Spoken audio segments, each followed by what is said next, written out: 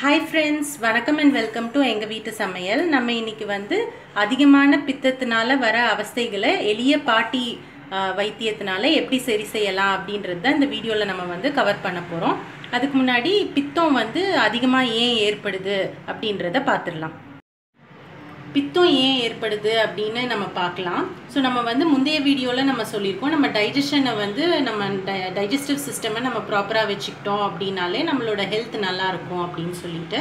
So பித்தம் அதிகமான பித்தம் ஏன் ஏற்படுது அப்படின்னு பார்த்தோம்னா நம்ம டைஜஷன் வந்து சரியில்லை அப்படின்னாலோ பாடி மெட்டபாலிசம் சரியில்லைனாலோ அந்த இம்பேலன்ஸ்னால பித்தம் வந்து அதிகமாகிறதுக்கோ குறையிறதுக்கோ சான்ஸ் இருக்குது ஸோ இந்த மாதிரி அதிகமாக இருந்துச்சு பித்தம் அப்படின்னா அதுக்கு என்ன பண்ணலாம் அப்படின்றத அந்த வீடியோவில் பார்க்க போகிறோம் ஸோ பித்தம் நமக்கு அதிகரிச்சிருச்சு அப்படின்னா என்னென்ன சிம்டம்ஸ்னு பார்த்தீங்கன்னா நமக்கு வந்து வாய் வந்து கசப்பாக இருக்கும். ஒரு நாசியா ஃபீலிங் இருக்கும். மண்டை வந்து கிரிகிரின்னு சுற்றுற மாதிரி இருக்கும். ப்ளஸ் டைஜஷனும் ப்ராப்பராக இருக்காது. ஸோ இதெல்லாம் தான் சிம்டம்ஸ் இதுக்கு வந்து நம்ம எப்படி ட்ரீட் பண்ண போகலாம் அப்படின்றது தான் பார்க்க போகிறோம் இப்போ நம்ம வந்து செய்யக்கூடிய அந்த சாறு வந்து ரெண்டு பேர் சேர்ந்து தாராளமாக குடிக்கலாம். அதுக்கு என்னென்ன பொருள் தேவைன்னு பார்த்துருவோம் இதுக்கு வந்து ஒரு ரெண்டு டேபிள் ஸ்பூன் தனியாக எடுத்துக்கோங்க. ஒரு டேபிள் ஸ்பூன் வந்து ட்ரை கிரேப்ஸு. இது கருப்பு ட்ரை கிரேப்ஸ் கொட்டையோடு இருந்தது அப்படின்னா அது ரொம்ப நல்லது. அது வாங்கிக்கோங்க.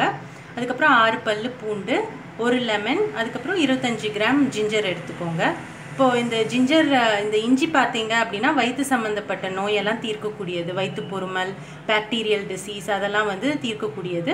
எலுமிச்சம்பழம் பார்த்தீங்க அப்படின்னா பித்தத்தை வந்து போக்கக்கூடியது.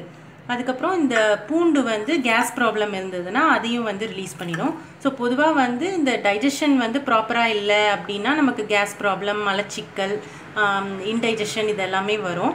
ஸோ கேஸ் ப்ராப்ளம்க்கு வந்து நம்ம பூண்டு எடுத்துக்கிறோம். அது மாதிரி மலச்சிக்கல் வந்தது அப்படின்னா அதுக்கு தான் வந்து நம்ம இந்த திராட்சை எடுத்துக்கிறோம். இதில் நிறைய ஃபைபர் இருக்குது ஸோ வந்து மலச்சிக்கல் போயிடும். மலச்சிக்கல் வந்து நல்லா போயிடுச்சு அப்படின்னாலே நம்ம டைஜஷன் வந்து கரெக்டாக இருக்கும். அதுக்கப்புறமா வந்து இந்த தனியா எடுத்துக்கோங்க. இந்த தனியாவில் பார்த்தீங்க அப்படின்னா இதுலேயும் நிறைய ஃபைபர் இருக்குது இதுவும் நம்ம டைஜஷனை வந்து நல்லா பார்த்துக்கும் ஸோ இந்த இந்த பொருள் எல்லாத்தையும் நம்ம எடுத்துக்கலாம். இஞ்சியை நல்லா கழுவிட்டு தோல் சீவிட்டு இந்த மாதிரி பீசஸாக போட்டுக்கோங்க. தோல் கட்டாயம் இருக்கக்கூடாது. ஏன்னா தோலில் தான் நஞ்சு இஞ்சிக்கு. ஸோ இந்த மாதிரி போட்டுட்டு அது கூடவே நீங்கள் வந்து தனியாவையும் ஆட் பண்ணிக்கோங்க. அதுக்கப்புறமா வந்து ட்ரை கிரேப்ஸும் ஆட் பண்ணிக்கோங்க. வெள்ளைப்பூண்டை தோலோடையே நம்ம ஆட் பண்ணிக்கலாம்.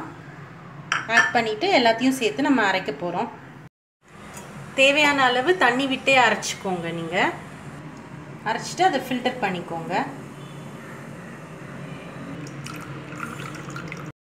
இப்- இப்போ இந்த இஞ்சி சாறு ரெடி ஆயிடுச்சு. இதை வந்து நம்ம டிஸ்டர்ப் பண்ணாமல் ஒரு ஃபைவ் மினிட்ஸ் வச்சோம் அப்படின்னா அடியில் வந்து டெபாசிட் ஆகிடும் அந்த சுண்ணாம்பு சத்து. அதை வந்து நம்ம எடுத்துடணும். அதோட நம்ம சேர்த்து சாப்பிடக்கூடாது. அதனால் கிளியராக இருக்கிற எக்ஸ்ட்ராக்டை மட்டும் இன்னொரு ஒரு கிணத்துல போட்டுட்டு அதில் நம்ம லெமனும் தேனும் கலந்து நம்ம இதை குடிக்கணும். ஸோ ஒருத்தர் வந்து கால் டம்ளர் அளவு குடித்தா போதும். வெறும் வயிற்றுல இதை குடிக்கக்கூடாது. ஸோ ஹெவியாக நீங்கள் வந்து சாப்பிட்றீங்க. பண்டிகை தினம் அப்போல்லாம் வந்து நம்ம சாப்பாடு ரொம்ப ஹெவியாக இருக்கும். ஸோ அந்த மாதிரி டைமில் வந்து நீங்கள் இதை ஹெவியான சாப்பாட்டுக்கு அப்புறமா நீங்கள் இந்த சாறை எடுத்துக்கிட்டீங்க அப்படின்னா உங்களுக்கு டைஜஷன் ப்ராப்ளம் வராது. தவிர பித்தம் வந்து ரொம்ப ஹீட்டில் வேலை செய்கிறவங்களுக்கும் அதிகமாக பித்தம் வரும். அவங்களும் இதை எடுத்துக்கலாம். ஸோ இப்போ கொஞ்ச நேரம் ஒரு ஃபைவ் மினிட்ஸ் செட்டில் ஆகட்டும். அந்த சுண்ணாம்பு சத் சத்து வந்து எப்படி அடியில் படியுதுன்றதை நம்ம பார்ப்போம். ஃபைவ் மினிட்ஸ் ஆன பிறகு மேலே இருக்க எக்ஸ்ட்ராக்டை நம்ம தனியாக எடுத்துட்டோம் வேறு கிண்ணத்தில். இப்போ அடியில் பார்த்தீங்கன்னா கொஞ்சோண்டு வந்து படிஞ்சு கிடக்கு. ஸோ இதை வந்து நம்ம யூஸ் பண்ணக்கூடாது. மேலாப்பில் இருக்க அந்த கிளியர் லிக்விடை மட்டும் நம்ம யூஸ் பண்ணணும். இப்போ இதுதான் அந்த சாறு. இது இஞ்சி சாறுன்னும் சொல்லிக்கலாம். ஸோ இது வந்து கால் டம்ளர் தான் ஒருத்தர் குடிக்கணும். இதில் வந்து நம்ம ஒரு ஸ்பூன் தேன் வந்து ஆட் பண்ணிக்கணும்.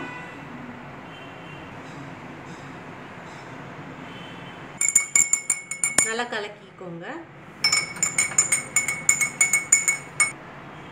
அடுத்து லெமன் ஜூஸ் ஆட் பண்ணிக்கோங்க.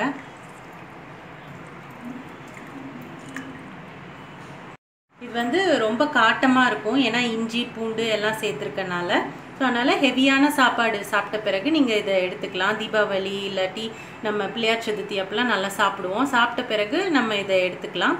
நீங்கள் வந்து ரெகுலராக எடுக்கணும்னு நினச்சிங்கன்னா மாதத்துக்கு ஒருக்க மட்டும் நம்ம வந்து இந்த சாறை எடுத்துக்கலாம். இல்லை பித்தம் வந்து நிறைய ஆயிடுச்சு அப்படின்னு நினச்சிங்கனாலும் இந்த சாறு வந்து நம்ம குடித்தோம் அப்படின்னா நல்ல ரிலீஃப் வந்து நமக்கு தெரியும். ஸோ நீங்களும் ட்ரை பண்ணி பாருங்கள் ட்ரை பண்ணிவிட்டு உங்களோட ஃபீட்பேக்கை எங்களுக்கு கமெண்ட்ஸாக போஸ்ட் பண்ணுங்கள் இந்த வீடியோ உங்களுக்கு பிடிச்சிருந்ததுன்னா லைக் பண்ணுங்கள் ஷேர் பண்ணுங்கள் சப்ஸ்கிரைப் பண்ணுங்கள் மறக்காமல் பெல் பட்டனையும் டேப் பண்ணுங்கள் அப்போ தான் எங்களோட ரெகுலர் அப்டேட்ஸ் உங்களுக்கு வந்து சேரும். தேங்க்யூ